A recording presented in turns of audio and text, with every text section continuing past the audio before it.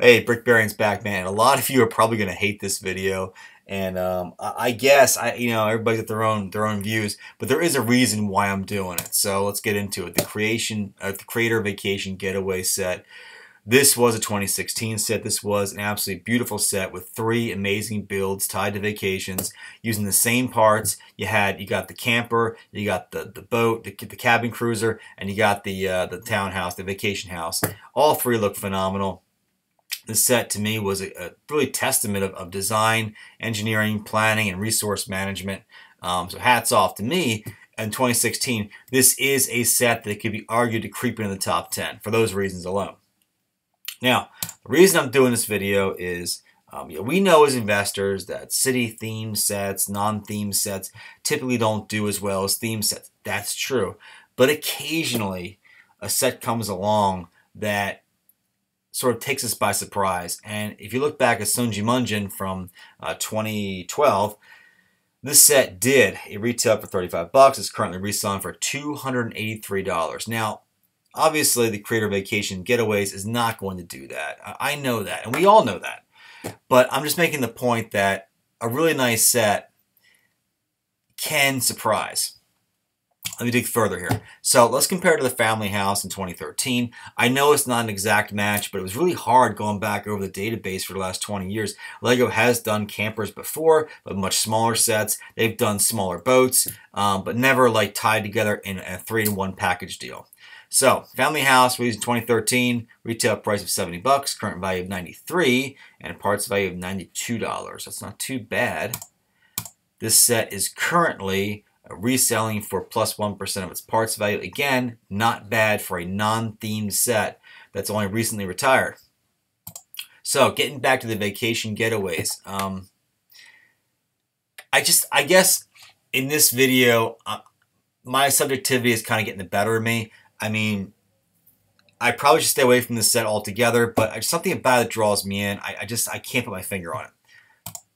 So we have two minifigs to talk about, but there's really not much to get excited about here. You can buy these minifigs for a dollar to three dollars on the secondary market. They're not going up in value. They're not going to drive the price. Let's move on. So um, we do have parts value on the set of 84, and we have retail price of 70. That is a horrible spread. right there is a red flag. Ding, ding, ding. Do not buy this for investment.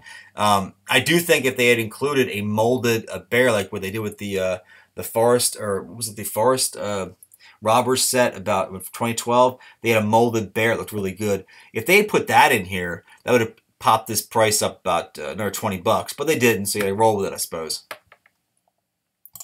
So two years after retirement, what do we got? Well, we got 85 bucks. Again, uh, you know, it's it's that that's not bad. I mean, for two years out, I mean, uh, even theme sets sometimes are below that, but not enough there really to get too excited about. Eight years out, you got 96 bucks. The parts project to go up to 95 plus 1, 96. Uh, man, like I said, okay, yeah, I know, man. I, I know the, the money is not there. I mean, but I guess you kind of have to think of it like, what are your goals? I mean, not every set is going to double um, in price in, in, you know, between two and eight years. So what's a margin as a reseller? Do you want, are you comfortable with just a 20% margin or maybe even a 30 or 40%? I guess depending on what you define um, and how, if you're a high volume seller or you a low volume seller, if you want to wait for like, like maybe 10, 15 years before you resell, I mean, there's just so many variables there. Um, but I do think there is enough meat here, um, especially getting on sale, that would definitely um, make it somewhat attractive. So my bottom line here is, um, the set is not projected to do very well. Um, it'll probably make maybe 20% profit for you if you hold it um, up to maybe five years out past retirement. So nothing to get too excited about.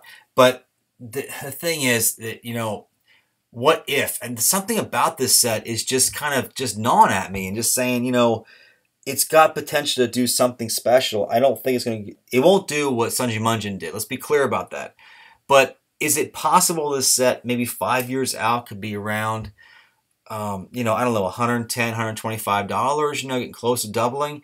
Um, i think it's possible um, but i will have to advise against it because the raw numbers are just coming in as a big red flag. Um, i'm still going to buck the trend.